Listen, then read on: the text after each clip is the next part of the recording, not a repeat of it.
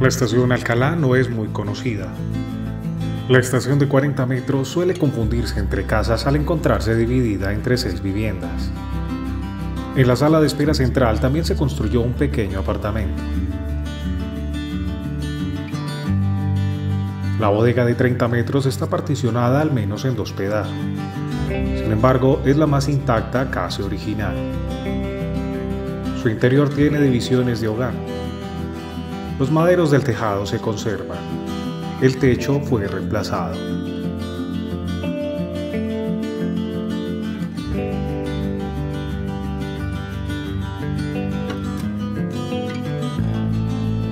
Muy cerca también se encuentra su túnel poco documentado.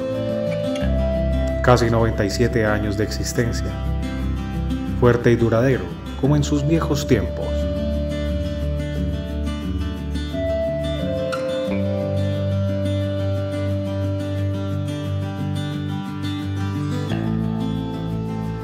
Por estar abandonado se llena de escombros con el paso de los años. ¿Qué tanto sabías tú de estas obras?